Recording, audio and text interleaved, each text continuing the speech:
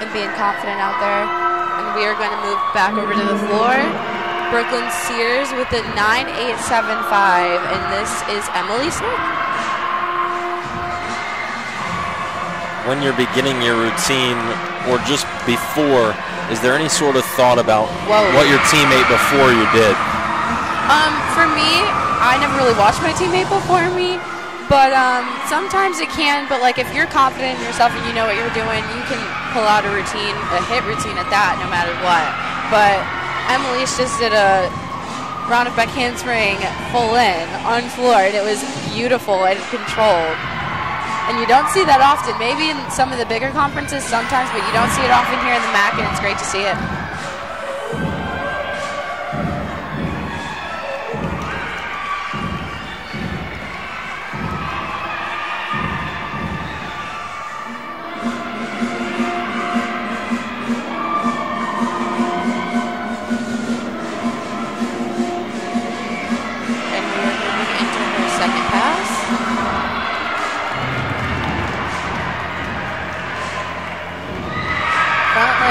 Front one and a half, gorgeous landing, very controlled.